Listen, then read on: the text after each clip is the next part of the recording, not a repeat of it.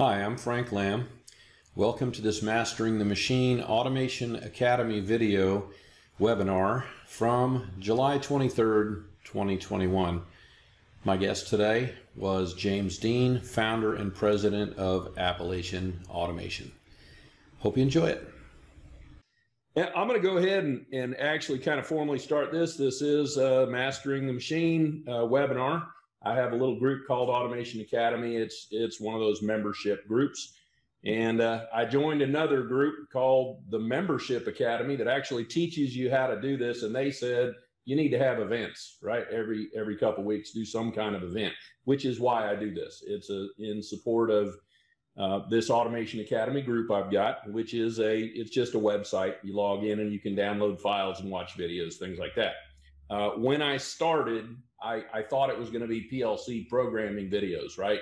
So I made uh, PLC videos and I thought I might market those. And then people like Vlad Romanov, who already has had that for three or four years, I realized they, you know, they've been doing this a long time, have a lot more of those videos than I do. So I kind of gave up on that and changed my focus to uh, systems integration and, and machine building, which is what I've done for most of my life, actually in East Tennessee, which is which is where James Dean there is from. Uh, I had a company out there from 96 to 2006 called Automation Consulting Services.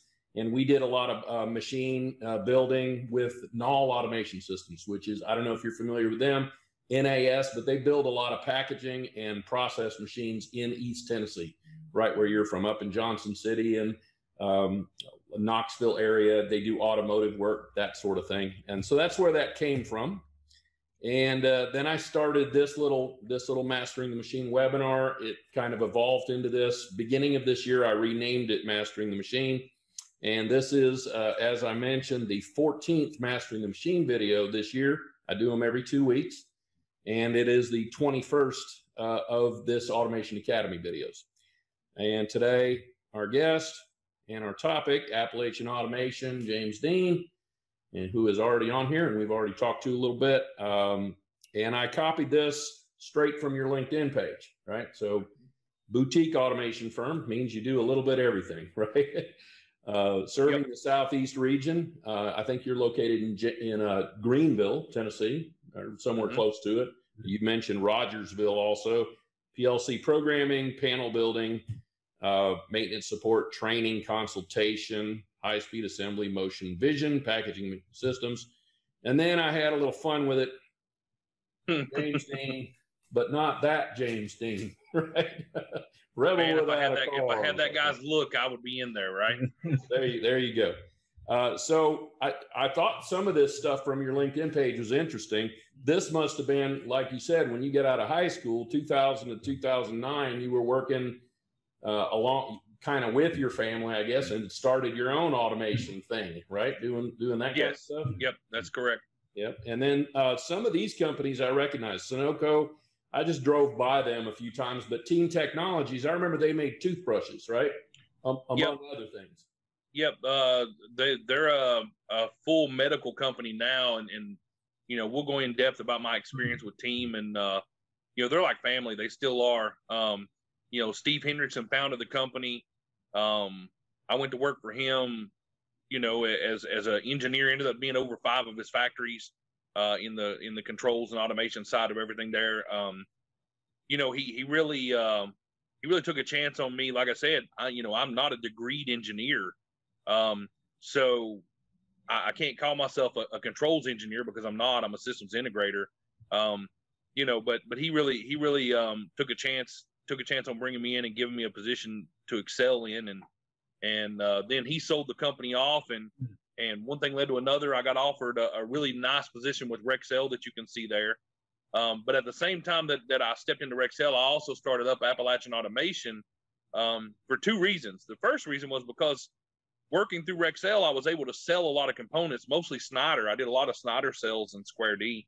Um, but you know, my background since I was a kid was uh, was of course Allen Bradley and and a lot of automation direct Koyo, you know that that sort of thing. And uh, but what the problem was I had at Rexel was um, I could sell the products, but no one in the East Tennessee area really integrated them that well.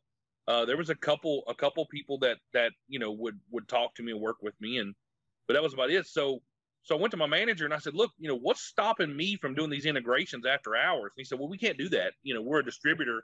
And that's why I know you're a distributor, but I'm not. And and so Appalachian Automation was born basically to do just VFD upgrades and drive upgrades and that kind of stuff. But what I found is that I started reaching out to clients from my previous tenure with Dean Industrial Group, which was my company. Um, you know, what I found was that man, I had a lot of clients who still wanted to work with me and really hated it that that we went by the wayside. Um, and before long, it was it was time to jump back in, you know, wide open, and uh, I had to weigh the pros and cons. And and I, I mean, I still buy from from Rexel uh, today. Those guys are like family to me. Um, I can call them right now and tell them I'm in a bind, and, and they will work every which way possible to to help me solve it for my clients. Um, we have a uh, almost loyal to a fault, I guess is the best way I can put it. Um, my client base is very loyal to me, and I'm very loyal to, to, to my vendors and suppliers. Um, it takes a lot to earn my business, but at the same time, once you earn it, um, I, don't do price shopping. Uh, you know, I mean, I, I expect to get a, a, discount or a deal because I'm a systems integrator, but I'm not going to send something out. I don't have the time to send something out for four or five quotes every time we do a system or whatever. And and I believe in a partnership that uh, that's built on trust, and that's what those guys bring to the table. They're not always the cheapest, um, and sometimes they drop the ball. I mean, nobody's perfect, especially in the COVID world. But what I do get there is a guy at the other end of the phone that when he when he hears the pain in my voice because I'm struggling with something, I can trust that he's going to do everything in his power to solve it for me, and, and that means a lot to me. So um, you know, I don't believe in burning bridges. Team Technologies is still, like I said, they're they're like family.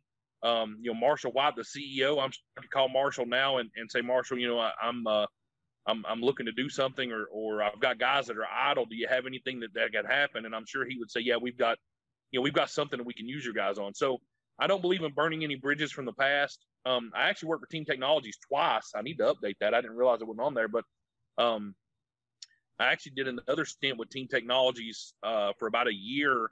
Um, in the middle of, of getting Appalachian Automation up and going and stuff, I took a, a contract role there. You know, uh, again to to kind of just sort of buy the time while we were you know capital capital deprived, I guess you'd say. You know. Yeah. But um, but yeah. So and you know, if you go back to to Dean Industrial Group, basically, you know, I grew up. I graduated in 2000, so I'm still uh I'm still a, a little uh, a little young on that side of things, I guess. But but um, I you know I grew up in a family business that did automation. So at uh, 11, 12 years old, I was helping build control cabinets for my dad. Um, he was an old school electrician, you know, old school relay logic, that kind of stuff. PLCs. He got to where he was a pretty good PLCs guy, um, but he really pitched pitched it to me at a young age and said, "Learn this." you know, and and he backed me with whatever I needed, and and um, so by the time I graduated high school, I was, you know, I was uh, 17, 18 years old, and already had a, a really good foundation for a career. Worked with him strictly, but I had no idea about business, how to run a business. I didn't know how to quote a job, uh, you know, any of that. I just worked for my dad. I mean, essentially, he was my only client, and and things were good, and he paid me well, and and um, you know, everything was okay. So, but in 2002, um, right when I was about 20, he had a horrific car wreck and uh, he was out of commission for you know almost eight months he was in a coma for several months in a wheelchair i mean it, it really shut us down and and all of a sudden i had to um I had to learn a lot really quick i didn't know who our clients were i didn't know how to quote a job i didn't know how to order parts i didn't know any of that because i was just a technician so um but my dad needed medicine. You know, he, he was in the hospital and he needed he needed when he come home he had a, a lot of infections and stuff. He broke 43 bones on his left side and and uh, it was it was amazing that he survived it. Um, so when that happened, you know, I, I, I had to survive, but I also had to had to help him survive. So um, so I, I learned really quickly how to do that side, and and that's where the the idea of going to business school come from because I thought, man, you know, I've got these guys working for me and and I know how to build a cabinet, but if I can't sell it, and it, even if I do sell it, if I can't manage the money on the other side, you know, then, then we're in trouble. So, uh, so I decided, you know, later that, that was 2002 when he had his wreck. So once he got back on his feet, and we kind of got out of the fire, I guess you'd say. Uh, then I decided to, to, to, try to get a formal education in business and go that route. Um, and I got what I needed out of it. Like I said, I, I you know I, I, didn't finish I didn't finish the degree because I, I, was two and a half, almost three years in, and realized that um, it was a real waste of my time sitting through the, the end of the courses that I had left because my phone my phone was ringing with clients every day wanting me to come and look at this project or do this job for them or quote this or whatever and i'm sitting in some elective course uh you know and i can't answer the phone because i'm listening to a professor speak on whatever subject matter may be and it just come to a point where i realized that this this was insane um i'm going in debt you know to to take take these take these classes and uh, and I've got a guy calling me wanting to spend a hundred grand with me or two hundred grand with me to do a project, and I'm rejecting his phone call to listen to a guy talk about something I really don't, don't care a whole lot about. So um, so basically, you know, mm.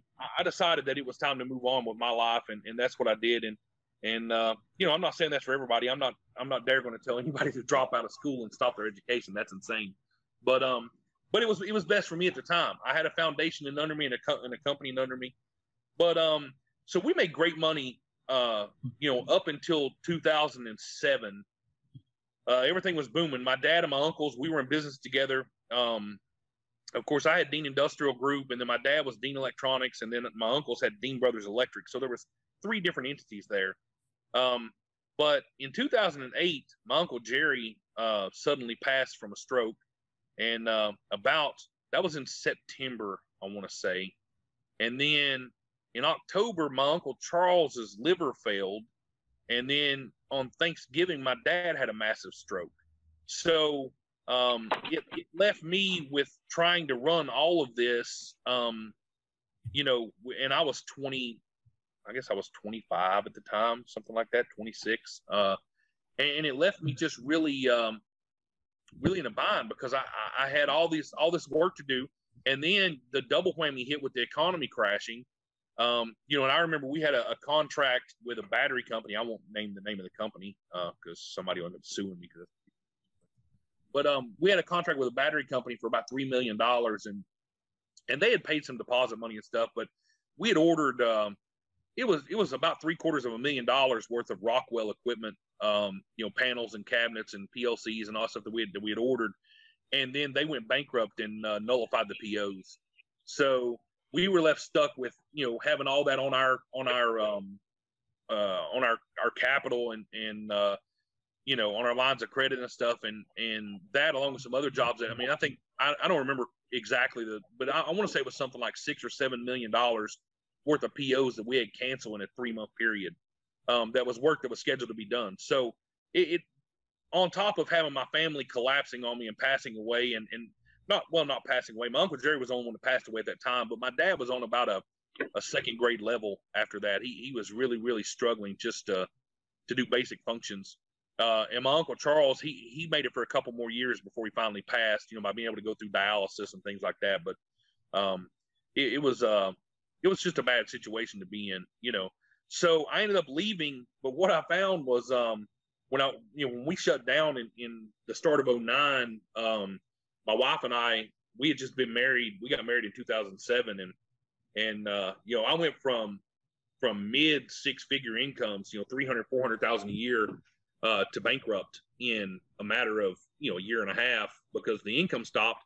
And when you're 25 or 26, um, you do stupid things with money. I still do stupid things with money. I still buy race cars and blow engines up and all this stuff. You know, I mean, everybody has their hobbies, but yeah, there you go. So there's there's some of my there's some of my toys that that I use.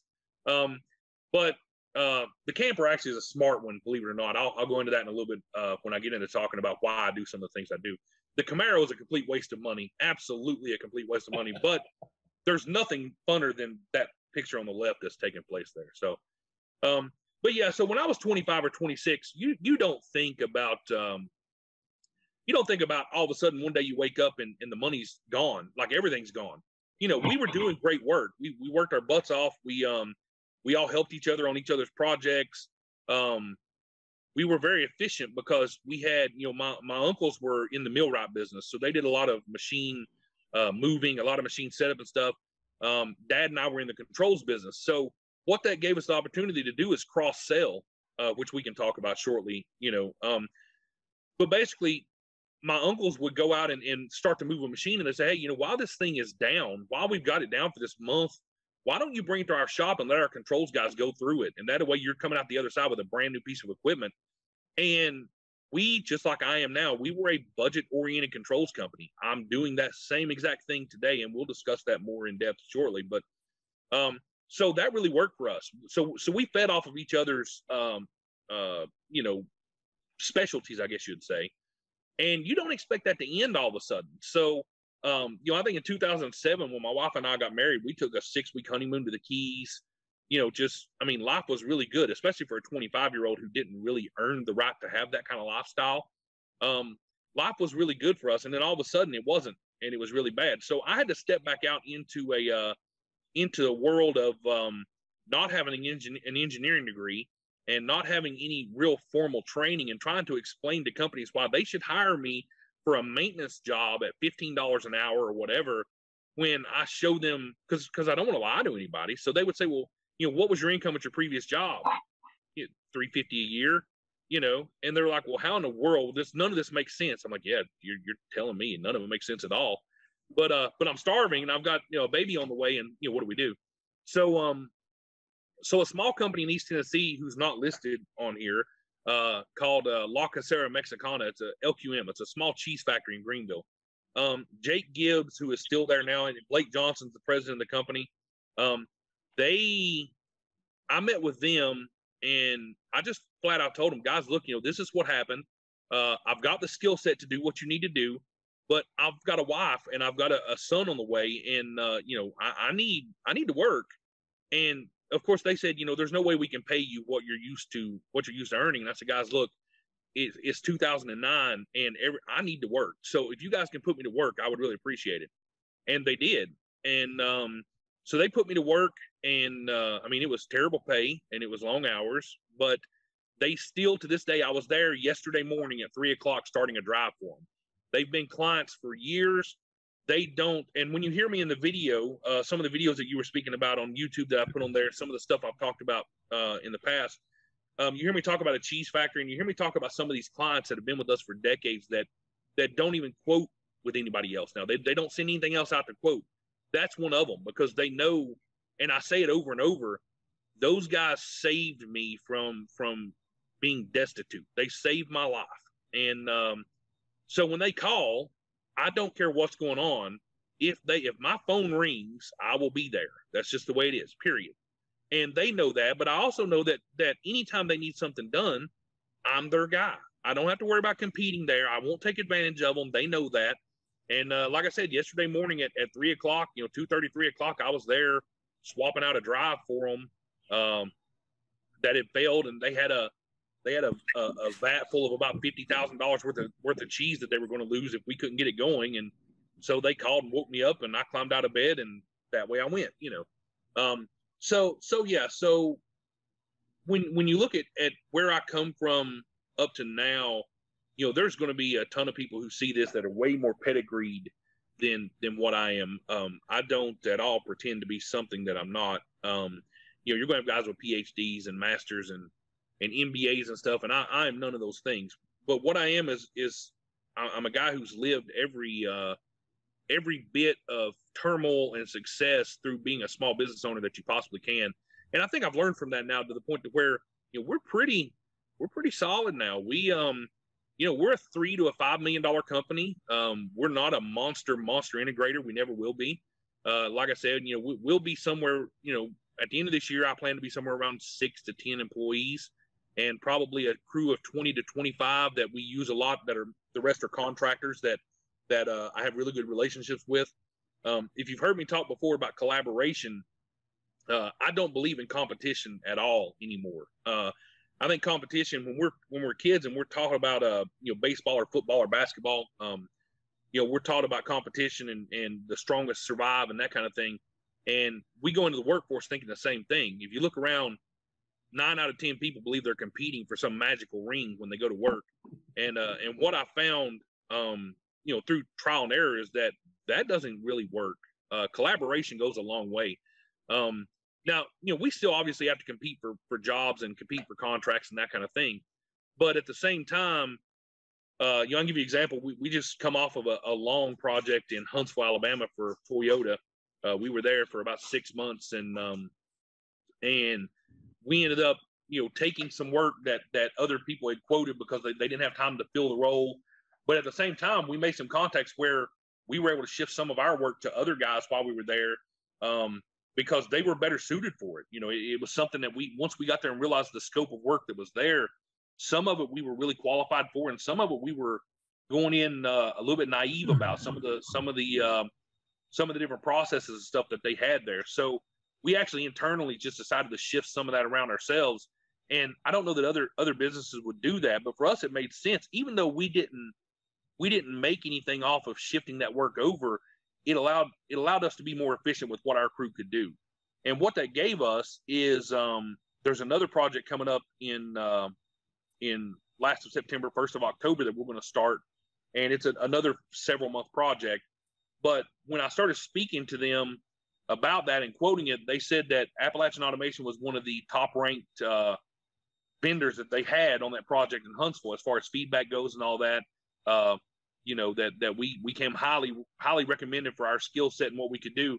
And I truly believe that had we not shifted some of that work like we did, uh, and brought in some of our contracting partners who really are competitors to us in day to day, but they're competitors in a, I guess, in a friendly manner. We're not out to slit each other's throats every day, but that allowed us to to really excel at what we were doing. So, and, we can get into more of that in a little bit, but but basically, mm-hmm. uh, you know, that's from there till now, and uh, where we're at as far as Appalachian automation goes, and uh, you know, we're looking to grow more and and um, and become a little bit larger, but not much. You know, I, I get a lot of people that's out there and their dream is to be the next Amazon or the next Google or whatever. And that's fantastic for them, but that's not us. That's not what we want to be at all. So, uh, you know, with that, I'll I'll uh, turn it over for another question if you got. But that kind of sums up what you've got on the screen there. So. Yeah, well, a lot of times I think, uh, like you said, you give up a lot right when you um, decide that you want to be the next Amazon. All of a sudden, you find that that's all you're doing, and there is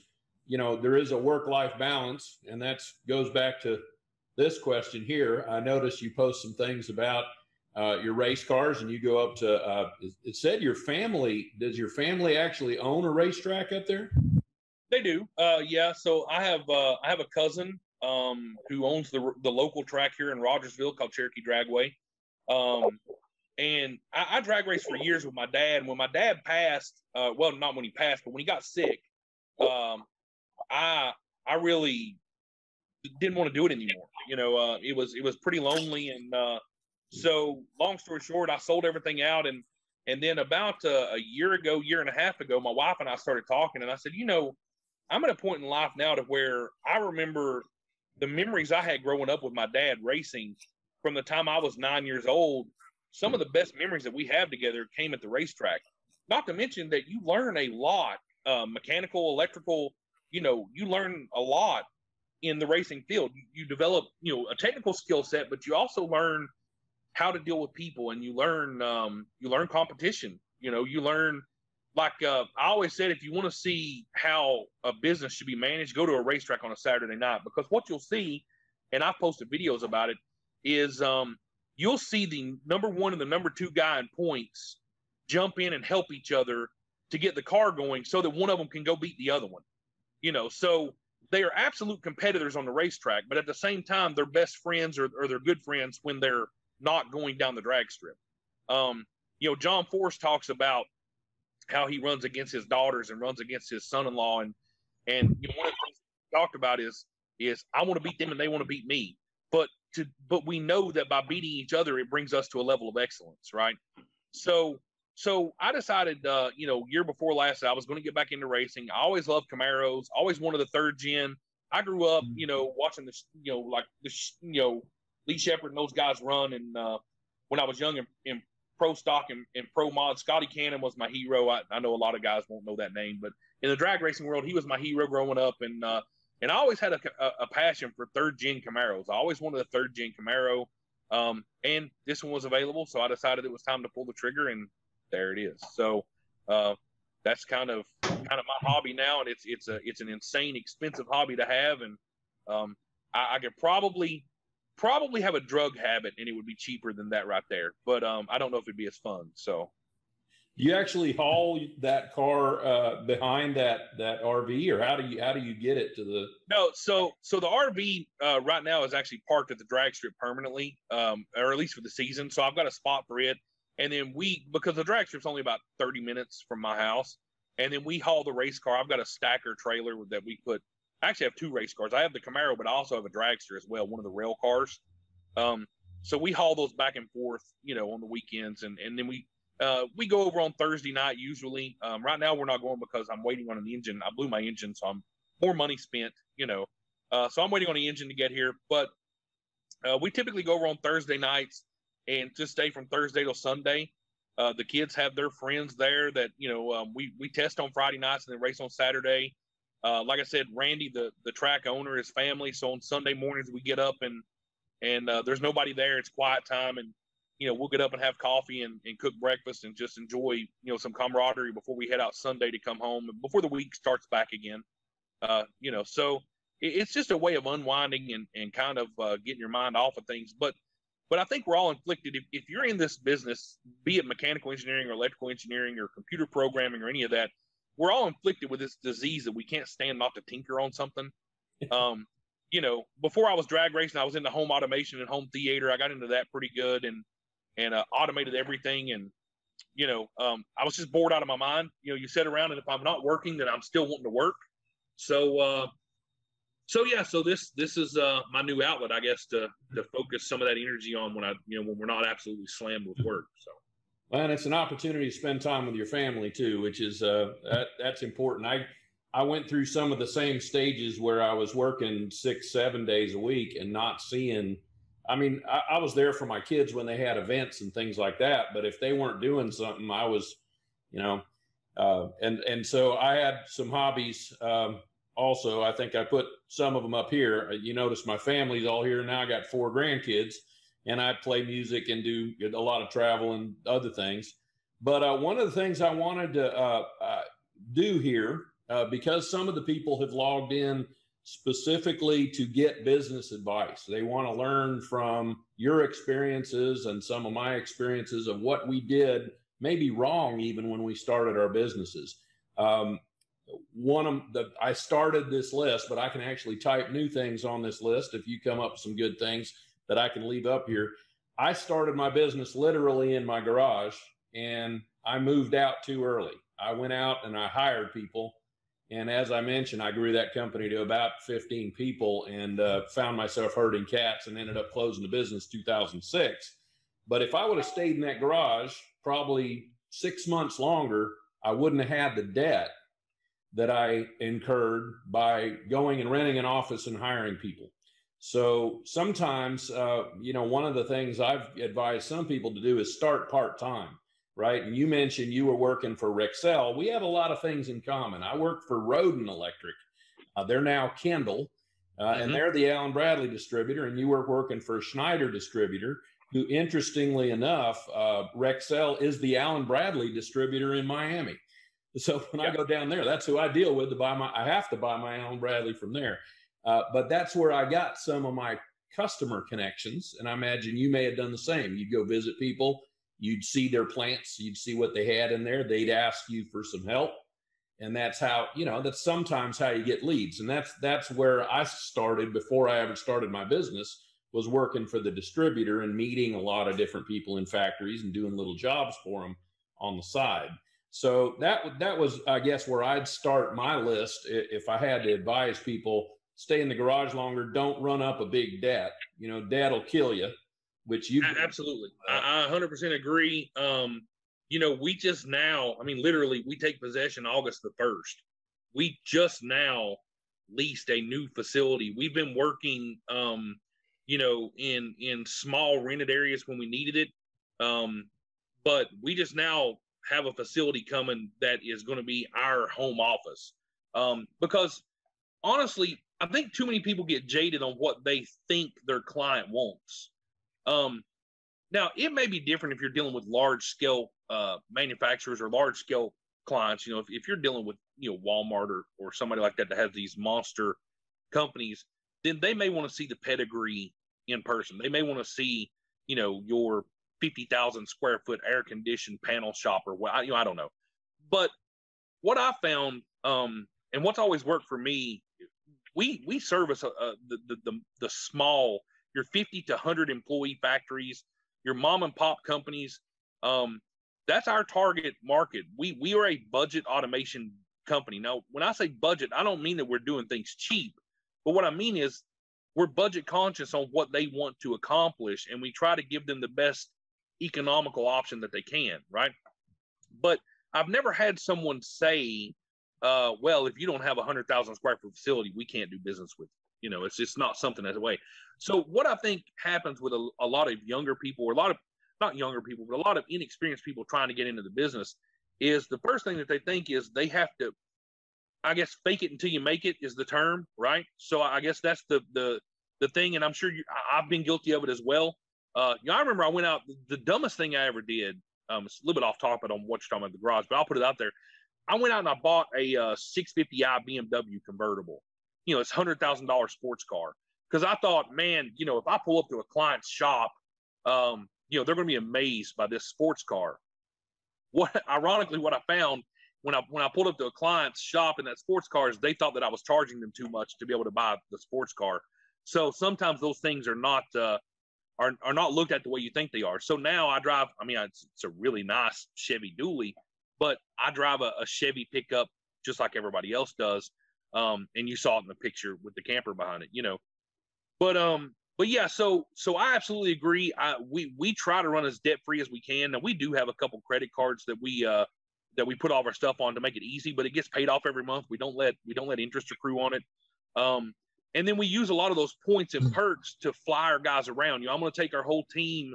Um, well, depending on the COVID Delta variant, all this is going on. We're hoping to go to uh, uh, the show.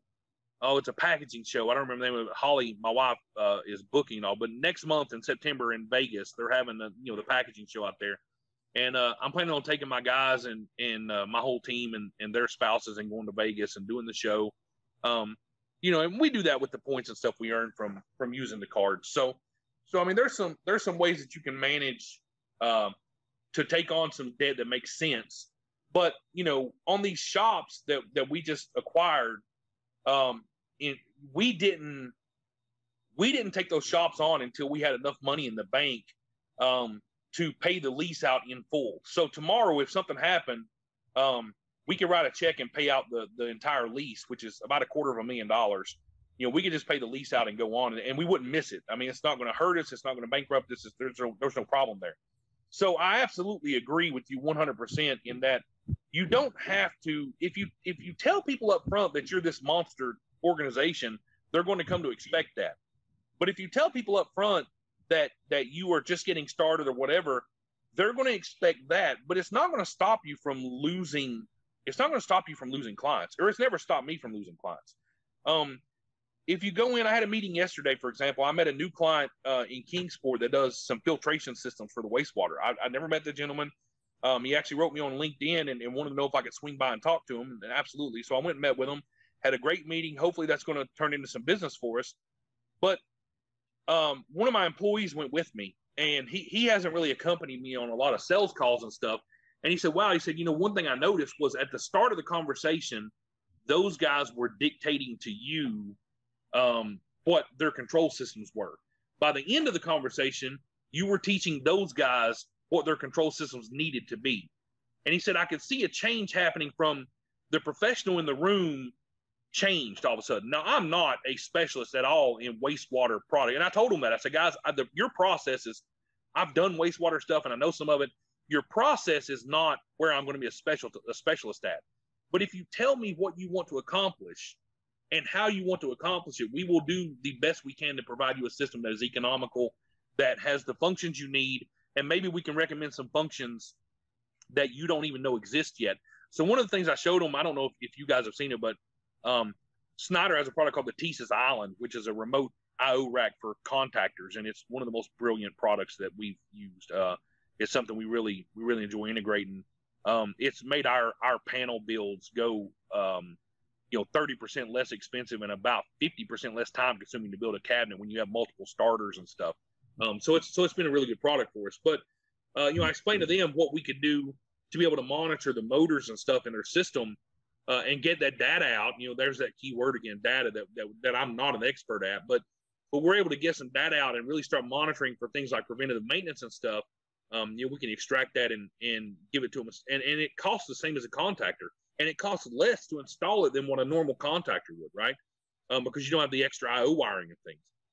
So, uh, so anyways, that was one of the things that he said was, um, you know, he was amazed how that conversation quickly changed from, you know, who was the not the leader in the room, but who was the professional in the room. By the end of the conversation, they were listening instead of talking, and uh, and sometimes that's a good thing. So I hope we get to do business with them. Um, but but yeah, you know, I, I think they didn't ask me a single time about uh, about my shop or or you know my my pedigree or my cars or whatever. Uh, we talked a little bit about football, but that's about it. Um, so so yeah, I actually I actually 100% agree with what you're saying there about about staying in the garage longer for sure.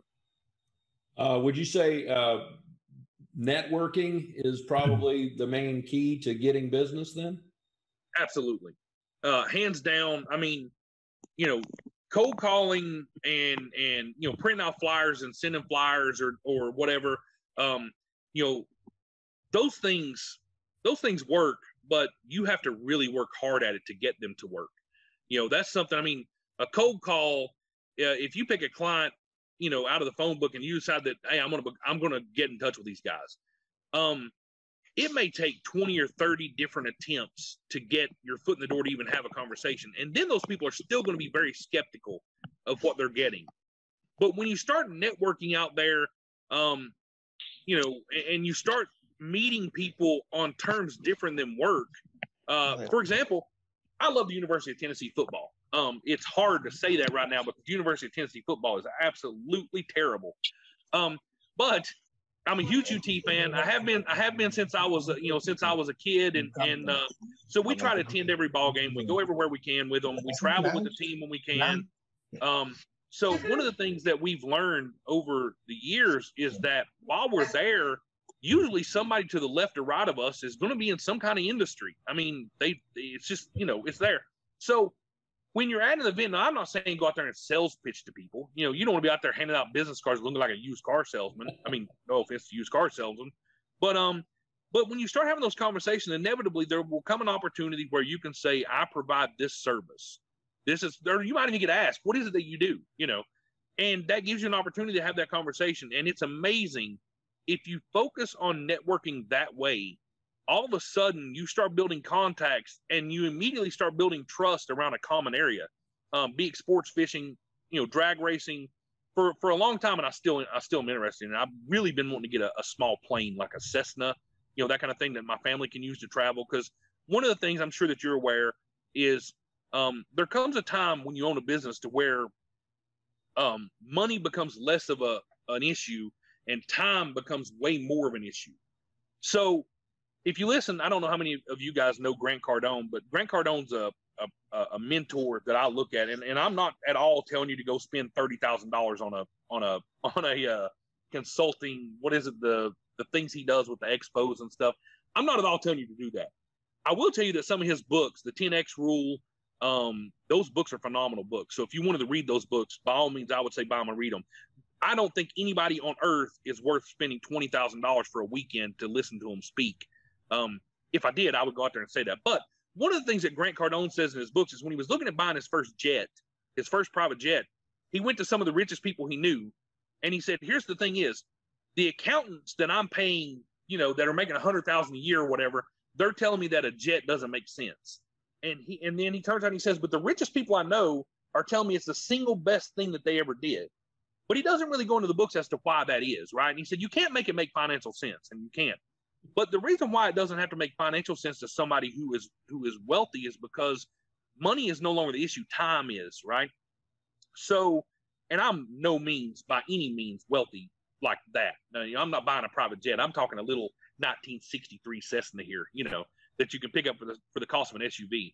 But what it does give is it gives time um, for me to go visit clients, and then also time for me to be able to get my family um, to to a place that we want to go and, and not have that eight or nine hour drive time or setting in an airport. I mean, if you look now, by the time you go through security and stuff in an airport and you go and have your layovers and stuff, about anywhere you're going to go in a regional area, you could have drove it in the same time. I mean, it saves you from holding a steering wheel, but you're still spending five or six hours to get somewhere, you know. So um, so yeah, so uh if you get out on the networking side of things, we went to um the reason why I brought up the airplanes thing is we went down to Tampa uh year before last before COVID, 2019. We went down to um Sun and Fun, Fun and Sun. It's the big air show that's down there. And um I took my son because he wanted to see the Blue Angels. So we went down and I was looking to just learn more about the airplane community, just what it is. And while we were there, we networked with two or three different people that have now become friends and clients and you know and and it was just as simple as hey what do you do for a living and and i tell them i do automation They're like really well i'm in manufacturing and blah and and it's an organic thing so so you know read all the sales books you want and they're going to teach you to cold call and do all these things but no one who is really no one who is really succeeding at a high level in sales no one is doing it on a strictly cold call basis. I mean, you've got to get your name out there. You've got to go out there when you're getting in business. Uh, you have to go knock on doors. Uh, if you're not knocking on doors or dialing numbers or on LinkedIn trying to send a message, you know, um, by the way, if you're on LinkedIn and and you immediately friend me and then you send me a message wanting to do business with me, I'm going to reject you right away. Um, but but over time, I mean, there's there's um, there's a few people on there that I've become really close with that I'm going to send business to or I have sent business to and do business with because they built that relationship the right way. They commented on my post. We got to conversating. We learned a little about a little bit about each other, and then we eased into that relationship of doing business. You know, um, so if you know if you're if you're new to business, you have to network, but at the same time, network around a way that that that everyone um, that is around you has a, a common interest of some sort. And it, it, I don't care what it is: fishing, golfing, not a golf guy, but you know that that's an easy way to build everything. So, what was the name of the book that Grant Cardone you mentioned? Uh, the it's called the 10x Rule. Um, and and it is a phenomenal, phenomenal book. Um, the two books that I would tell if if I was going to tell uh, a, a new business person books to read, the, the two books I would recommend, um, and you can pick them up on Amazon. They're dirt cheap. Is the 10x Rule by Grant Cardone, and then the One Thing by Gary Keller. So Gary Keller is uh, CEO of Keller Williams Realty, which I think is now the largest real estate company in the world, if I'm not mistaken. Um, I was an agent for Keller Williams when I parked my license when I when I was doing real estate, um, and you know I never I, I I would never went into real estate to be a real estate agent. I went into real estate to learn the business of selling and contracting, as we talked about earlier. But um, but Gary Keller was somebody who who I had read about long before I started out with Century 21, and I had started reading about Gary Keller, and he was in Texas, out that area. And and I read his first book was the was the Millionaire Agent, and that's really geared towards real estate. So I, am not going to recommend that for for everybody. But he he then turned around and wrote the one thing. And if you read those two books, what those two books are going to teach you is how to focus on what actually matters in the one thing. Um, and then the 10x rule is going to teach you how to achieve your goals in a way that pretty much makes it foolproof that you cannot miss from achieving your goals.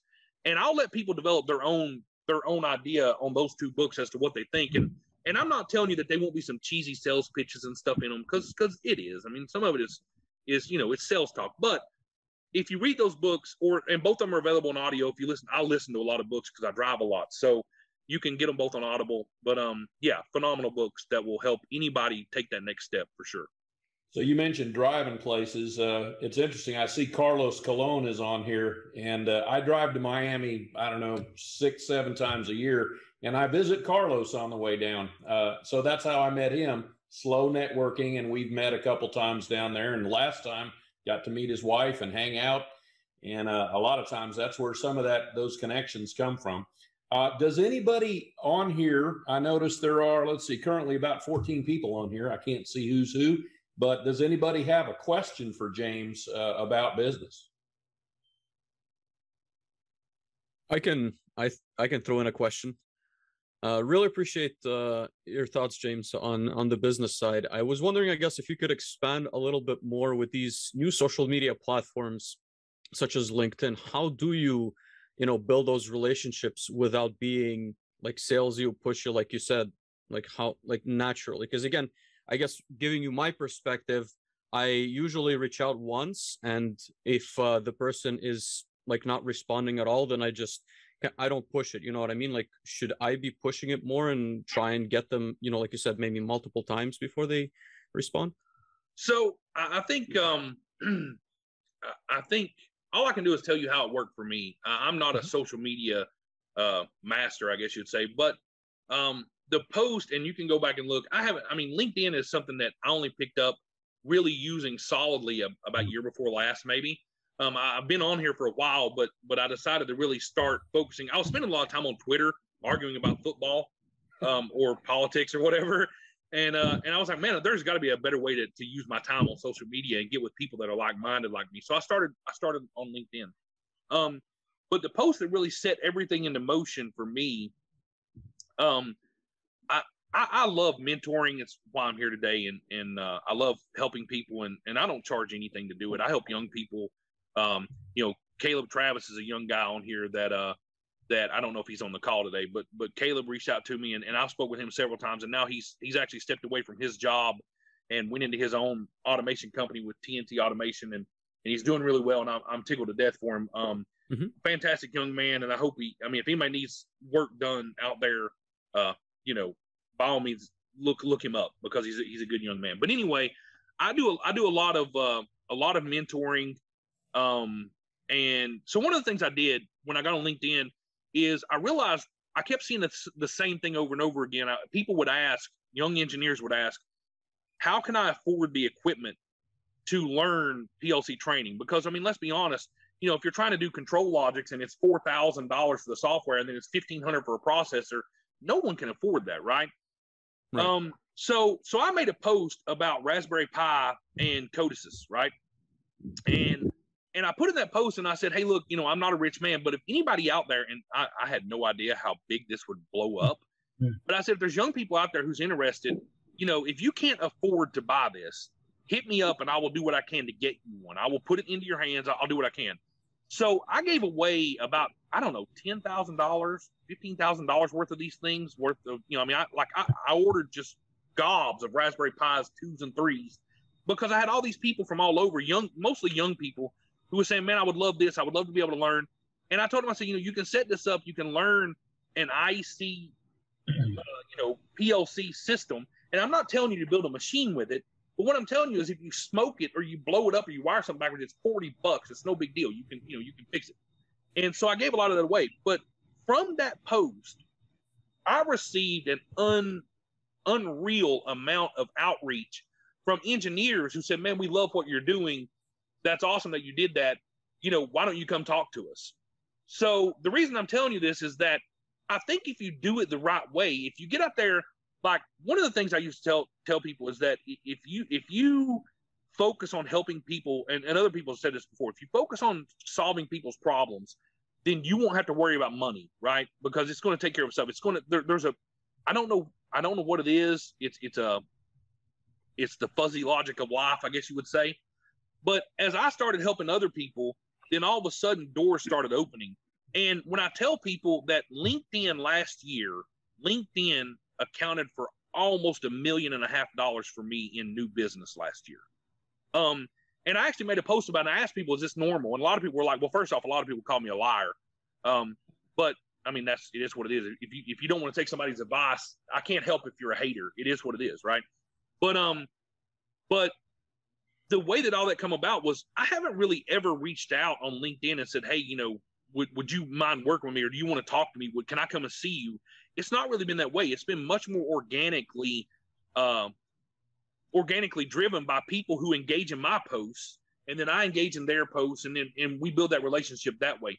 So what I would tell you is is you know instead of kind of hammering out there because you know I'm sure your inbox is like mine you're getting people. I get a ton of people from overseas that are looking for work or wanting to come to work, and and I get these all the time, and and I try to be cordial with them, but I let them know that you know it's really hard to build a relationship when we can't even sit face to face with each other. Um, you know, but at the same time, some of the guys like Jordan Humphreys and some of these guys I speak with quite a bit on here, we've built relationships of just friendship, talking about you know the mentoring stuff or talking about different posts. I mean, some of it's about food or about travel or whatever. And over over time, you start getting into the same questions I was talking about earlier about football. Is hey, what do you do or how do you do it? And sometimes it's me asking that, and sometimes it's them asking me that. So what I would advise is don't give up on the social media. Just change the way that you do what you're doing to where you're providing info and providing more of a um an experience to the end user. I mean, if you think about it, just like a, a movie producer produces a movie and that pulls you in, and, the, and then the next time a, he puts a movie out, I mean, how many Steven Spielberg movies have you went and seen just because Steven Spielberg was the producer, right? So once you get on LinkedIn and you start producing content that is useful to people, your inboxes will start inevitably being filled with people who want to know more about what it is. And maybe you have a specialist. I, I mean, you know, we specialize in budget automation systems.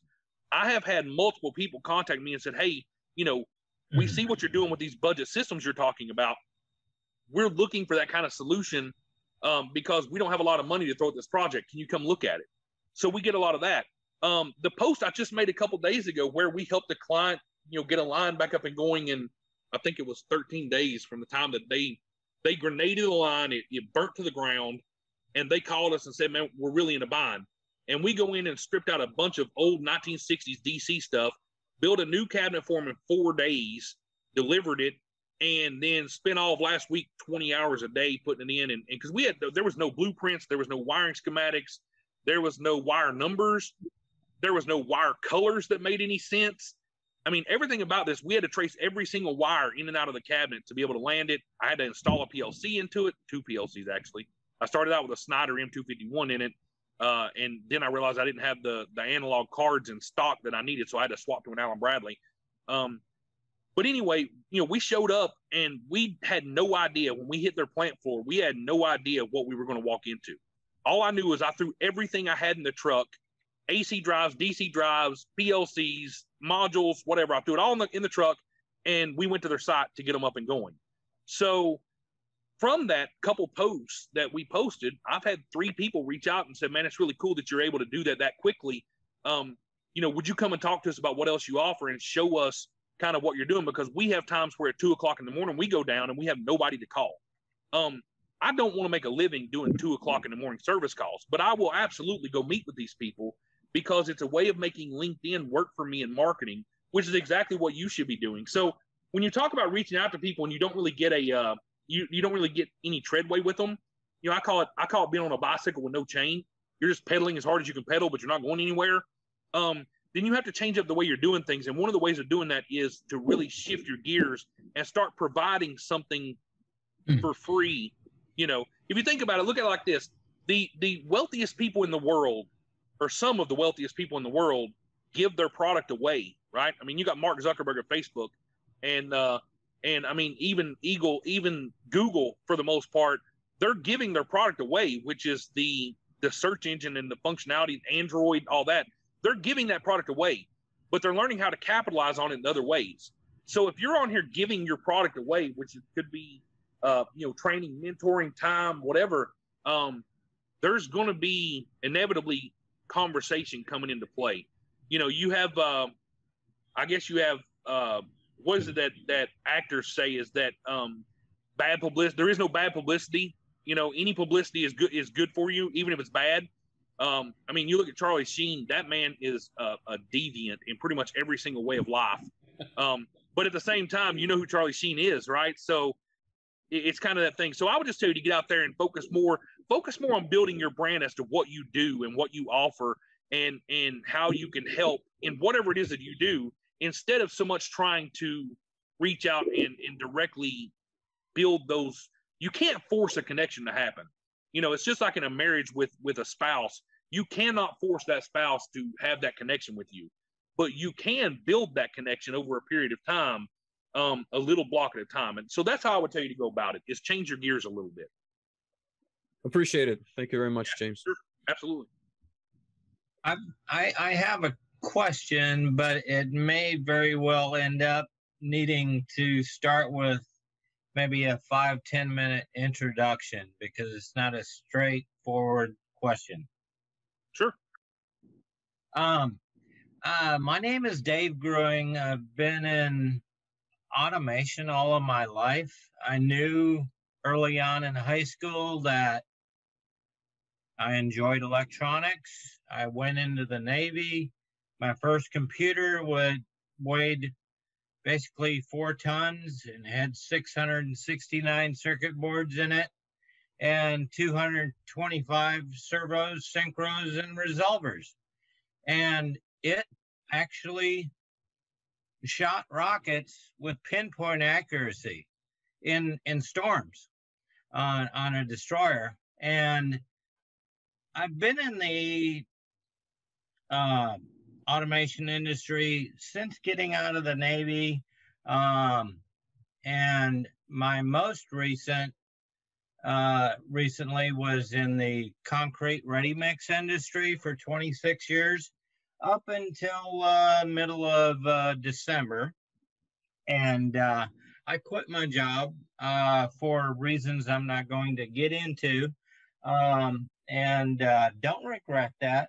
I am actually going to be so fresh into going into business for myself that I'm kind of basically expecting receipt of my LLC uh, request from the state uh, today or, or Monday.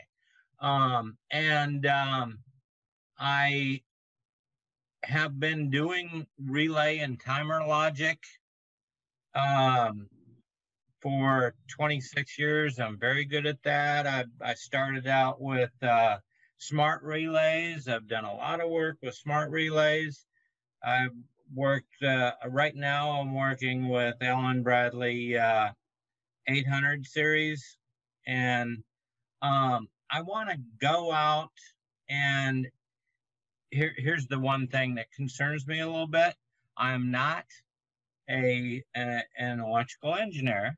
I um, I have my associate's degree in electronics, and um, it's kind of basically a little bit of a liability thing. I'm a very good seller of of myself and of my service. Uh, 95% of all the com- customers that I've had in my last three companies that I've worked for in the last 26 years love me. That's like 95%. Everyone has their 5%. Um, but I'm very good at selling myself and doing a good job at making sure that things work and they work for a long time. Uh, does it, eh, and so I'm thinking about going and knocking knocking on uh, electrical uh, companies um, and to see whether or not I and to show them some of the work that I've done in the past um, and uh, to uh, try and get myself out there doing uh, small jobs. And not my my credit is like 539 out of 550. I have money. I don't have a boatload of money. Um, and I'm not going to go out and buy, buy, buy and get in debt. With that little bit of, of uh, introduction to myself, uh, Frank or James or anyone else, anyone have any good advice for me? I have a question for you. Where are you located geographically? Irving, Texas. Basically Dallas, Fort Worth. Yeah, one one piece of advice I was have would have is get to know the people around you and and if you can team up with somebody. Find somebody that you can even shadow to a degree. A lot of what I did in East Tennessee, same area James is in, uh, I connected early on with a couple of machine shops and machine shops can make things, and often they need very simple automation. There was one in Athens, Tennessee. I think James would know where that is, and and they built like now you would call them poka yoke machines. What they did did is they built a fixture, and they'd put something like a, a, car door interior on it and they wanted to make sure that all the screws were in it and things like that. And this guy would build these assemblies and put sensors on the assemblies and you'd pull it down and put it on that car door and it would just check to see whether everything's there. That logic can be done on an 820 simply, right? Uh, Allen Bradley, a simple thing, and you would be low cost going in with a product like that. Now, not everybody uses those, you know, eh, but in Irving, you're in the Dallas area, you know, you might even try talking to, uh, um, uh, what's his name at Intellic, uh, maybe not Walker himself, but he's in Dallas also. So that networking and talking to some of those people in your geographical area, right where you live, and then they'll, you know, they know somebody, and some of those people you may find on LinkedIn, you know, that are in the Dallas area, but get to know them first, uh, which is what James was saying too. Get, get to know yeah, them. and and also, you know, I would add on there, don't short sell yourself on what you're good at and your ability. Um, you know, you said that you were really good with relay logic and that you're good with the older systems and stuff like that. I can tell you right now that that there is absolutely a market out there for people who need to maintain their older systems and they don't have the money or won't spend the money to go to a newer system. So don't try to um I'm not telling you not to not to uh you know bring your proficiency along in the newer stuff, but I would love to have someone at the other end of a phone locally to where when somebody calls me because I mean there's times when we get on presses and stuff like that that are from the 1940s that are nothing but relay logic and drum switches and you know and i'm walking in like this is i was born 70 years after this was made you know um but so i'm you know don't forget what your specialty is. If you if you have a, a 30 year career built on this knowledge you're an asset to someone the trick is finding who that someone is right um for example you know, I remember years ago, back when Cognex first become a, a, vision system. Now this was a newer technology, but I remember that that we were doing a project for Lear, and Lear wanted to uh, be able to detect colors.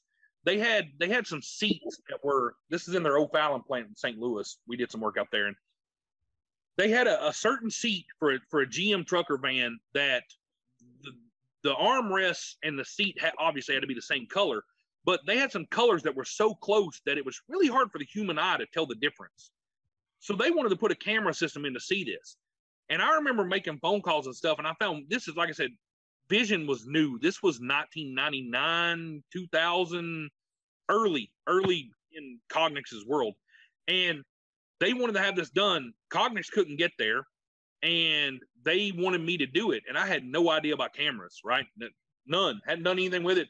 So I found a guy, and I remember it was like 500 an hour to bring him out because he was one of the only ones in the country that had this this ability, right? And the reason why I'm saying that is because you may be one of the only ones left in your area that has this ability to work on this older stuff, and there's not a lot of it. But I remember saying one time that um, it was it was about buggy whips. It was a, a a business phrase, and it said the last the person who makes the best buggy whip will be the last person in business making buggy whips. You know, there's not that many people making horse saddles now. When when the horse was the main form of transportation, you had somebody in every town making saddles, or you had a farrier in every town. You don't have that many now, but the ones who are left are very, very good at what they do. So don't sell yourself short on what your skill set is. Improve that skill set over time, but absolutely market yourself for what you are because there is a there is a value to that. You've just got to find the right place to use it. And it might mean that you need to specialize not just locally or even in the state of Texas. You may need to you may need to expand nationally, but you you may need to specialize and say, I'm a specialist in old school, you know, old school relay logic and build your brand around that. I mean, at the end of the day, do you really care how you make a half a million or a million a year if you're doing something that you love? Does it have to be brand new PLC automation, the greatest thing on earth? Or can it just be I'm out doing what I enjoy every day as my own man in my own business and I'm doing what I know? We could very well at Appalachian Automation, we could become, uh, well, one of the things we did is we become a FANUC ASI. That just happened. We just started uh, becoming a FANUC integrator for the, well, not, I mean, not an integrator. We've integrated it for years, but we just become a partnership with FANUC robots, right? And we looked at several robot brands and stuff, but we decided to, to hang with what we knew. We've integrated those robots for a long time, and we decided we wanted to kind of hitch our wagon to, to them and run with it from there. But there's some things that we don't do. We're not a very big process controls company. We don't do SCADA work. We don't do data work. It's not our realm of expertise. But what we are competent at and what we do very well, that's what we market ourselves to. So I would tell you the same thing. Don't sell yourself short. Market at what you know, then add on and build. Because if if you it becomes really easy, well not really easy, but it becomes easy when you're making enough revenue out of what you already know that you're not having to to really risk a lot, then it becomes easy to go out there and get that brand new. I mean, there's brand new guys coming out of school right now that have light years more knowledge on on on you know things like neural networking and AI and these things that I have no idea about. They're I don't know them. I don't know them, and I'm never going to know them because it's easier for me to hire somebody out of school that went through four years of this or that knows it really well than it is for me to try to learn it. So what I would tell you is focus on what you know, do what your core is, really brand yourself as knowing that, and then add the pieces down the road that help you grow that other area of your business that you may want to, you know, branch off into. Um, that's the best thing I could give you from my side. I very much appreciate that, James. Thank you. Sure. Yep, absolutely. Anybody else? Anybody have any questions? John, it's good to see you here. Uh, John and I uh, met in a class and we did business. Uh, he referred me to somebody in Atlanta and and uh, connected me with somebody down there, and I went down and did a uh, what what was that? It was a I think it was a pharmaceutical company that needed integration of their Allen Bradley ControlLogix and a building management system. That goes. That's right. That's right. I I've got a lengthy background. I worked for Rockwell for some some years, and I worked for Siemens for like 15 years, and that's uh, I've started my own business officially last year. However, I'm still full time employed by an engineering firm where I travel 100%. You know, so I fly every week uh, to somewhere around the country. Um, it's hard to find that work life balance, but uh, but I would say um, the most important thing is networking absolutely. I mean, that's a cliche, but um, when I'm given an opportunity and I may not have the resources or the bandwidth to do or perform, uh, I find it. I, I take I take something from the big companies where you can be a solution provider, and you can you know pull from your resources to feed them because it, it it shows that you have offerings to to others and that really pays dividends to you or it can um, that's that's something that I found over the years that that really makes a lot of uh, difference. Uh, Mr. Gruen, I was I was in the Navy too, um, and that that is uh, probably one of the best things I ever did after coming out of high school.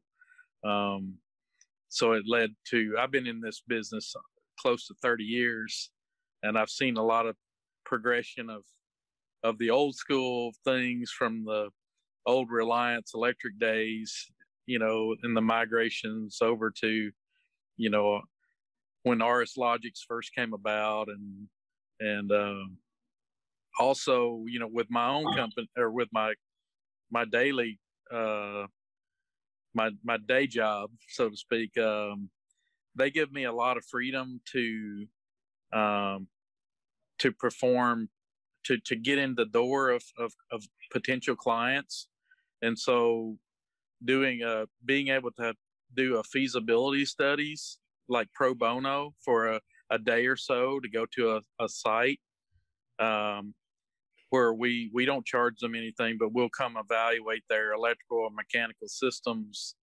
and we'll do we'll write a report, and if they find value in it, that that actually uh, does lead into possible work and things of that nature. Um, but this this is uh, valuable information, Mr. Dean and and Frank. You guys uh, are awesome. I this is this is having a community of people that do the like-minded things uh, is so invaluable. You know, I've got a website. You know, I, I'm I'm True Measure Controls. You know, however, LinkedIn has provided me with more um, real world uh, um, benefits than my website ever did. You know, so uh, being able to network with others um, that do this like the like a lot of the same things is very important.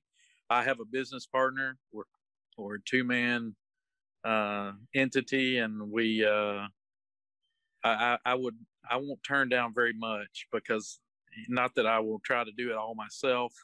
I'll feed it out to others, and that just to me, uh, you're paying it forward in in a, in a manner. So, thanks for hearing me babble, but uh, I've enjoyed listening to you guys. Yeah, well, I think you touched on something that that I've told people before. Um, you know, if you can become, it's it's it. This may not make any sense to people, but if you can become become an industrial concierge, that that becomes very valuable. And what I mean by that is, I have clients who will call me and they'll say, "Man, we just had a shaft break. It's like a three inch shaft." and we have no idea who can turn this thing down and weld it. Well, that's not me. I mean, I, I, own a machine shop, but we can't handle something of that scale, right? We we do like little fixtures and and tooling for the end of robots and things like that. We don't have the equipment. So, like you said, I'll I'll refer that out to one of my friends that, that I know will take care of them, right? And and sometimes that's not reciprocal. Um, sometimes I, I've got people that I have sent hundreds of projects to. They've never sent me anything but they still take care of that client. So I'm still seen as that role. And once you start providing that full service, guess what? When that client has an electrical need or a controls need, they're not going to call somebody else. They know you. You're the the number one phone, the number one thing in their phone book. You know. So which I mean, oh, so I remember reading a report years ago. Um, I don't remember who it was in a book. I read a lot, but it was in a book and it said something. It was about branding, and it said something like if you can't occupy when somebody thinks of, of business if you don't occupy the first or second brand in their mind you're forgotten about so if you think about anything um, soft drinks what's the first thing? Well coca-cola dr pepper pepsi and then all of a sudden it gets harder to come up with that next one right? And yours might be snapple or something i don't know. But if you do that with any brand so if you talk about if you talk about vehicles okay so it's it's ford it's chevy it's dodge it's mercedes and then it's you see what I'm saying? So after you get two or three, the human brain can retain a certain amount of of branding for each item potato chips doritos lays whatever. No matter what it is you hold that so your job is not to convince everybody to do business with you your goal is to simply convince people that you should be that number one or number two position in their brain if you get that then all of a sudden as soon as something breaks the moment like i've got I've got clients, and and one of the things I tell people is, I have I, I don't actually. Somebody just asked. I was looking at the chat session, and they asked about if I do any SEO or that kind of stuff, and uh, or if it's all word of mouth. And and for me, it is mostly word of mouth. I mean, honestly, my website is still not done. It's been like if you go to Appalachian.com, AppalachianAutomation.com, it's going to say we're coming, and it'll be here eventually, and eventually sometime um, it will. But the thing is, we've got such a core client base that we do work with that I don't have to market that much. My phone rings every day. And the reason why is because the moment that something breaks in those 30 or 35 customers that we have, the moment something goes down, the first thing that pops into their head is we got to call James and get this going. It's not we've got to call somebody or we've got to find somebody or we've got to deal with somebody. And it may be something like I get people call me for Siemens all the time. We are not a Siemens integrator. I don't integrate it. I don't know Siemens. I don't want to integrate Siemens yet they'll call. So what do I do? I pass it along to somebody that I know that does Siemens work, right?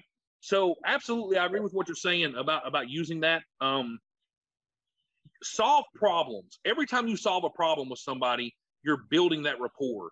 And the more, even if you're not getting paid, you you've got to stop the mentality. Everybody's got to stop the mentality of every dime and every penny matters because it doesn't. it's about building a long term relationship with that client, and the money will eventually come. Um, one of the things I'll give you a, a real quick example. Um, but one of the things that that we do um, is we we very uh, consistently monitor over um, going over a budget. Like we don't ask for change orders a lot. Okay.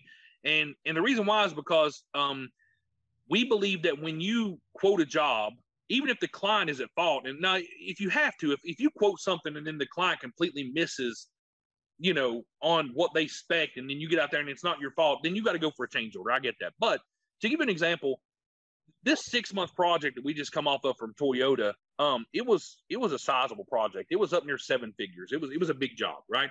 And at the end of it, I figured we probably had probably $70,000, $80,000 worth of time that we should have billed because it was work stoppage time. It was in our contract. And basically, it was if my contractors, if my guys, if my guys had to stand around and wait on them to do something, you know, turn on a, a breaker or turn on coolant flow from their ceiling because we weren't allowed to be in a lift or you know whatever. We were there for a very specific narrow window of work that we couldn't deviate from by their rules for their safety and all that, right? If we had to stand around and wait for any time, that was supposed to be billed. But I started looking at it and I'm seeing all these other contractors that are going over budget by a long way, right? They they was several contractors that that were way over budget. And I'm thinking it does more good for me for the long term to forget about that $70,000. Now, $70,000 is still a lot of money to me. It's not like it's not like we're making so much that that's not a huge chunk, right? But when I looked at it, it's like um, it's like when you're playing poker. Um, you can break somebody in the first hand and take two or three hundred dollars away from them in the first hand, and, and then they get up and leave. Or you can slowly bleed off three thousand off of them over the night by twenty dollars at a time, and they'll stay there and have a blast with you, right? So it's kind of that sort of mentality. So my mentality was, let's just forget that seventy grand and let's show them that we provide value to them and and it absolutely worked. Like i said earlier if you wasn't here you know when the list come out on this new project that we're about to take on we were at the top of the list of who they should call first. And and i tell people all the time that we don't compete on money. Like we don't compete. Everybody thinks they have to be the lowest cost. We are never ever the lowest cost. We build budget systems but we're never the lowest cost but we still get i close right now about 80% of the business that I quote.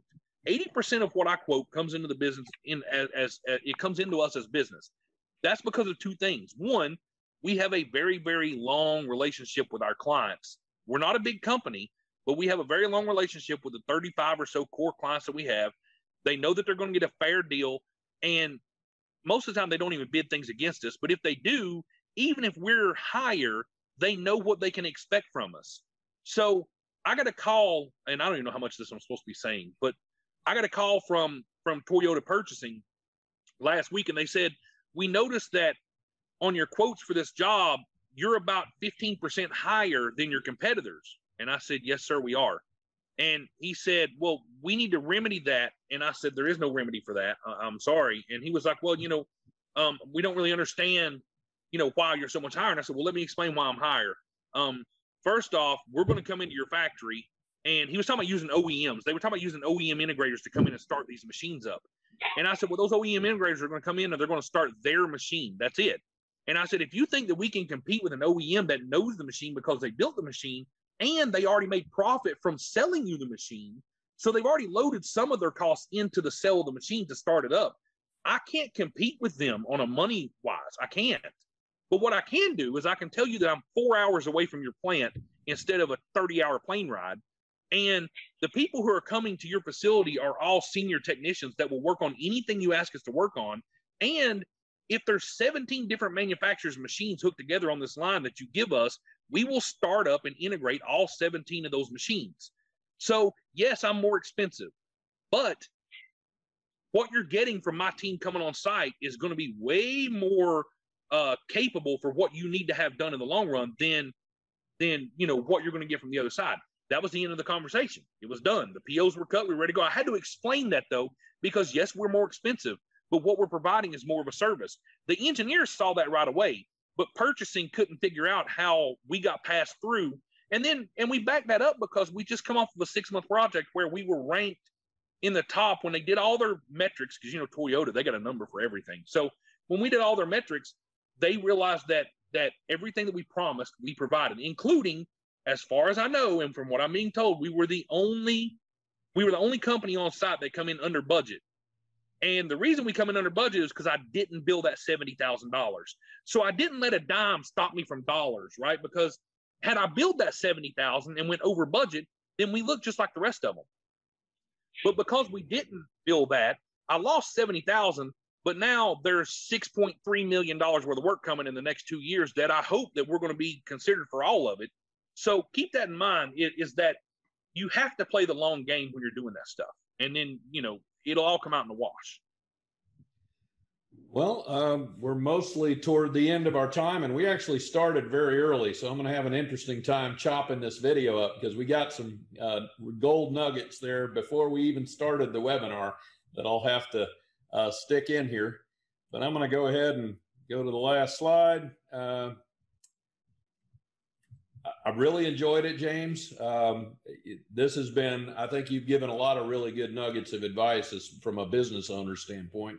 And as usual, lots of good stories. Uh, you should check out James' YouTube. I don't know what your YouTube channel is, but hmm. um, Appalachian Automation.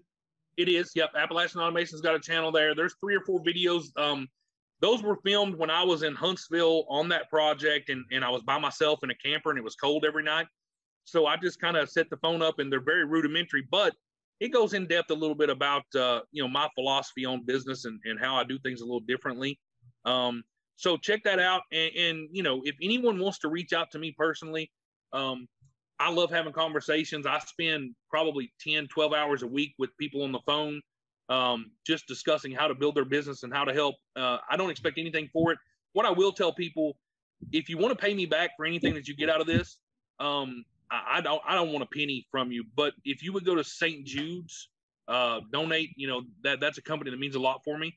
So um, if you wanted to, to really give back and and and you know if if, if I provide you something that, that ends up being a lot of business, um, you know throw five bucks at St. Jude's that would that would mean a lot. Um, but I love to mentor, love to work. Uh, you're welcome to contact me anytime. If you want to message me on LinkedIn or uh, james.dean at appalachianautomation.com is my email if you want to drop me a line there. Um, be happy to work with you. The other thing, one thing I want to touch on before we leave, um, if I can, if I can give anybody advice on how to get started in the industrial automation or in the electrical business, is um, learn who your distributors are and understand that if you start building bonds with your distributors, um, it, it, it, becomes beneficial to both of you. Like I said, I do a lot of work with Rexel. Um, they they those guys are like family to me. Um, there's some other distributors that I'm building relationships with. Graybar in Knoxville is one of them. Uh, those guys have really been fighting for my business and, and really been uh, um, you know hitting me up uh, quite a bit. Mike Blankenship out there, super super nice guy. But basically, get to know your distributors and work with them, and don't be afraid to sit down with them as an integrator and talk to them about special pricing because what I see a lot of young integrators do, or a lot of people getting started do, is they don't understand that there's a set of pricing for end users and there's a set of pricing for integrators. And a full a full 30% of our revenue on the company, granted, like I said, we're a three to a five million dollar company. We'll top that this year. This year we're going to be up close to probably around seven million by the time the year is done. But about 30% of our profit from our company comes from components that we sell because we have a discount coming in. So I can still sell a component that um, uh, take a Schneider PLC for example. That Schneider PLC may have a list price of nine hundred dollars, and I've worked out pricing because we do so much with them of getting that for five hundred dollars. I can still sell it for seven fifty. The client is getting a discount on the product, but at the same time, we're still making a profit. So make sure that you start building those relationships. And some of those distributors are going to want to see quite a bit of volume before they start really getting into that. But don't bounce around. Um, don't shop just price. Start. I mean, even if you've got to overpay a little bit, pick a distributor that services you very well, that that you have a that you can build a personal relationship with the sales guys there, and that aren't trying to take advantage of you and start working on ways because a lot of those guys will love to help you grow your business because it, it's beneficial to them. Um, so, you know, I want to make sure and get that out. I know it, it's kind of the end here to, that we bring that up, but that needs to be in the conversation because it's it's a very um, essential part of, of, a, of a systems integrator role is learning how to get profit out of things that normally don't seem profitable. Um, there's not very much that we touch as a business that we don't somehow profit off of uh, from one way or the other. And and if anybody wants to reach out, we I do a lot of things that that I won't take up a lot of time here with it, but I do a lot of things that are a little bit um, outside of the box thinking on getting you into the doors of clients. Um, Vlad, like you were talking about. So so if you want to reach out to me, I can give you some ideas of some things that you can offer that not only is a product that you can sell to your clients, but that will help them get data that will put you in place to start doing some capex projects with them maybe two or three years from now. Because you've got to start those conversations early. There's projects that we're quoting now that won't be done for 20 till 2023 the money will be put in that budget then right? But mm-hmm. i've got i've got some things that i've come up with that i can teach you that will show you how to kind of get out there. And it's not just based around selling a product. It's based around solving solving an issue. So I do some things like obsolescence audits that I can go into where we go in and we get paid to do the audit, but we go in and we let the client tell us what their most important piece of equipment is. They tell us what that piece of equipment is, and then we start at the top at the most important, and we go to that machine and we figure out everything in that machine, and we give them an auditable an audible report on what is going obsolete, what is obsolete, what is the end of life expectancy, because you can get all that like Schneider, Siemens, all those guys, they put out an end of life expe- expectation of that product. That product's going to be end of life in 2027, right? Well, if you go out and you find their most important piece of equipment that they tell you is their most important piece of equipment, and then you go in and let their di- their data drive you to solving their problems, you can hand them a report that says, okay, machine one, two, three has these seven things that are near impossible to get. So here is a proposal to replace those and this is what it's going to cost budgetary. Don't don't try to lock in on number, but say it's going to cost between 100 and 175,000, right? Give them a big number, and then let them put that in their capex. And guess what? You've just rooted out everybody that's going to compete against you on that job because they've already got the report. They're not going to waste their time, most likely, quoting it with somebody else. They're going to come to you and say, "Hey, you remember that report you done to us a couple years ago? We would really like to do item number seven this year. Can we start working on getting that nailed down on a formal quote?" So there's some things like that that I can teach you that will really help you bring revenue through the door, get you out and, and, and like that obsolescence audit from day one, you start providing a service that the client can use right away that you don't have to you don't have to do a machine build for them before you start showing your value. And it costs you nothing because it's literally some time and a piece of paper. You can do an obsolescence audit. It costs you a day's time or a week's time if it's a big company and 28 cents worth of ink and you're turning it into a contract that could lead into hundreds of thousands of dollars. We have generated, you know, probably a million, million and a half dollars off of just that alone since we started doing it about three years ago. So um, I can help with stuff like that. Feel free to hit me up. Um, I, like I said, I don't believe in competition. I believe in collaboration. Um, I don't hide things, and you know, I'm, I'm happy to share. We, we do enough business where we're absolutely swamped. We're not trying to grow larger than we already are. So if I can help you guys grow your business, I'm more than happy to. Well, appreciate it, James. Great to um, have you on, and uh, just want to announce real quick: the next webinar will not be on Friday. It'll be the first time I've had to skip that because I'll be on my way back from Miami, and I'm going to try to do it on Thursday. I may try to have Jordan Humphreys on. Uh, he he talks about right recruiting and getting jobs and all that kind of stuff, and that's an interesting topic. Um, but yes, reach out to James if nothing else on LinkedIn, right? Or or at yep. the email address that I put up there before. I will be putting this on YouTube. It takes me a couple days, and again, I leave for Miami tomorrow morning, so I don't know. I, I may not get it up until Sunday or Monday, but uh, uh, check out this this YouTube channel here. I have a kind of a company channel in Automatic-I. If you if you type in that name, you'll find me there. Also, and uh, I appreciate having you, uh, James, and good seeing some of the rest of you guys, Vlad and John and uh, Dave. Uh, this is, I think, second second one in a row you've come in and talked to us, so that's that's great. Um, but I'm going to go ahead and, and, call it a day here. It's great seeing everybody. Uh, thanks, James. Yep, thanks, guys. Thank you, sure appreciate it. Thanks, James. Cool uh, backdrop. Yeah. yeah. So I'm sitting at my kitchen table. Um, we are in the process of moving to a new facility, uh, or actually two new facilities. We just closed on two buildings, and uh, So right now I've got guys in my basement building cabinets. We've got 12 cabinets to ship today. So they're downstairs. I've got a about 3,000 square foot um, of of basement space under my home, and uh, so they're they're down there wearing it out and working on that. And I told them I said, "Be really quiet. Be really quiet. I, I got to have this this call." So they're hating me right now because they got to figure out how to drill and tap holes and be quiet at the same time. So. Well, I get but, uh, sometimes I get some cars running up the road and they make you know loud, brrr, you know. So you yeah. never know. well, we shouldn't have to deal with any of that. We live at the the back of a farm. Um, it's not our farm, but we get to enjoy the quiet, you know, serene peacefulness of it. You know, there's a I see a lot of guys out there, um, and I'm not bashing anybody by any means, but I see people like uh, Grant Cardone, you know, those kind of people who are phenomenal salespeople and, and they do their their job really well and they do a lot of seminars and training and stuff.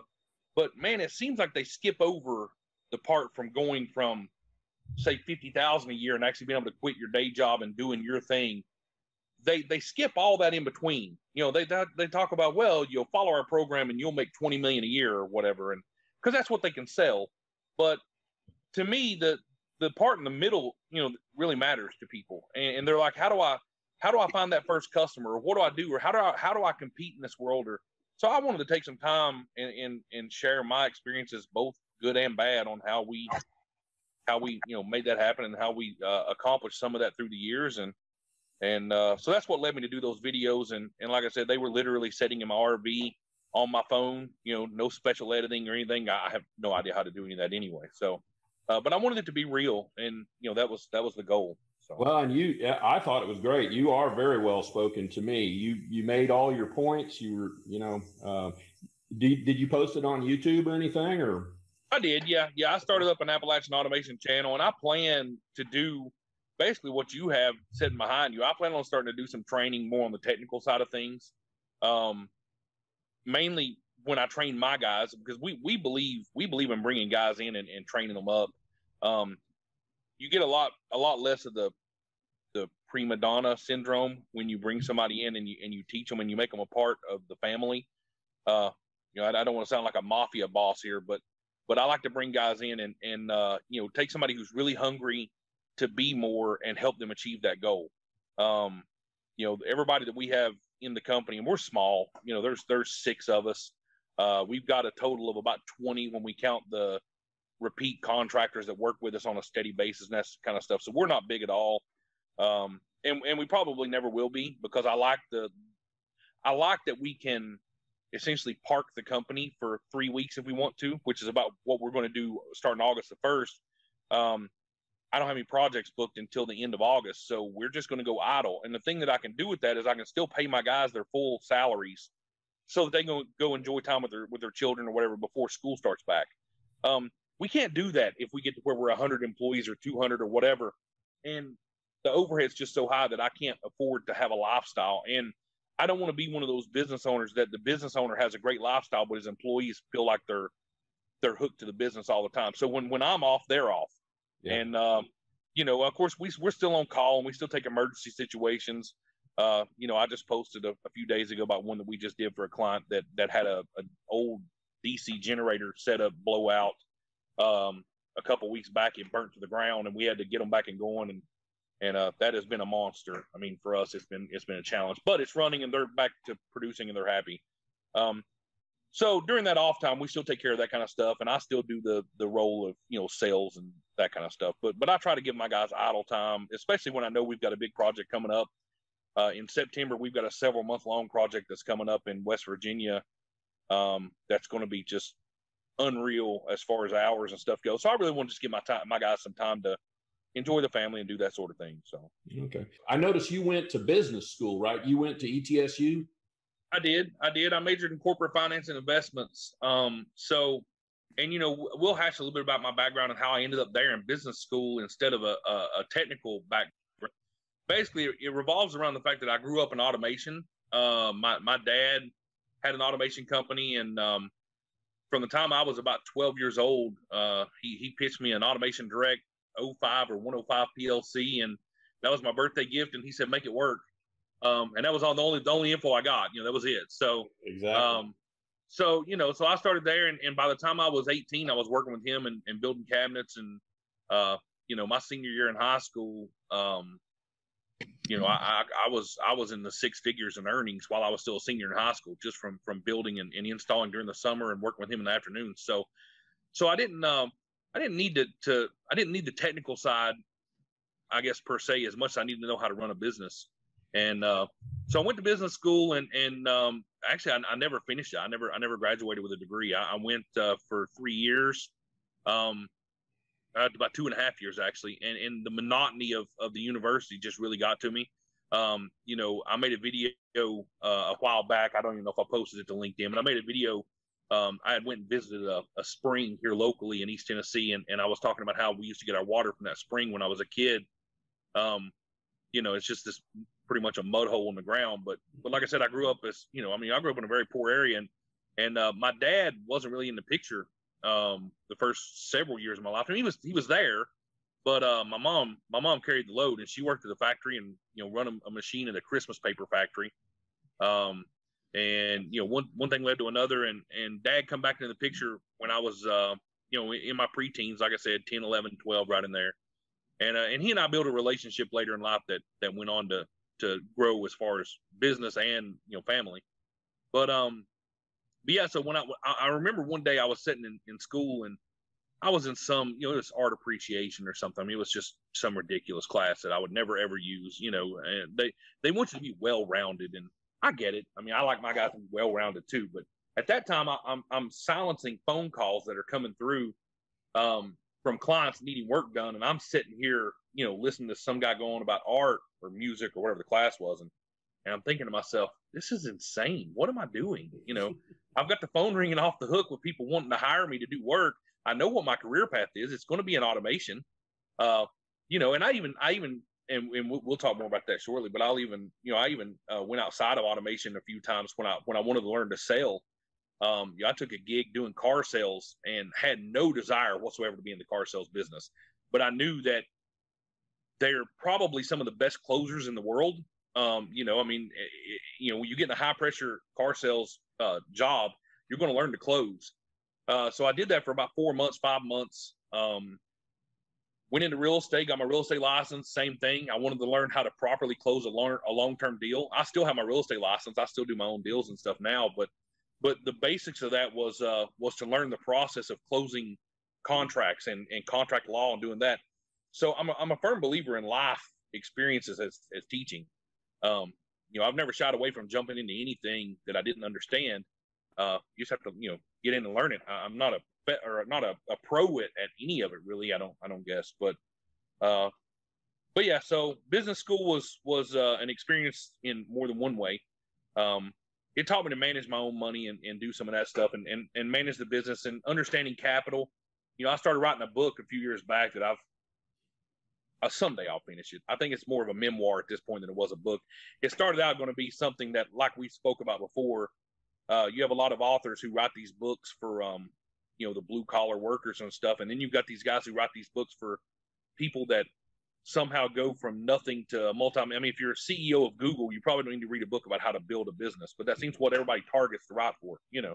Yeah. Uh, so I started writing this. It's just a a basic financial, a business financial book that helps people understand capital and cash flow and those kind of things and how they play a role in what you do.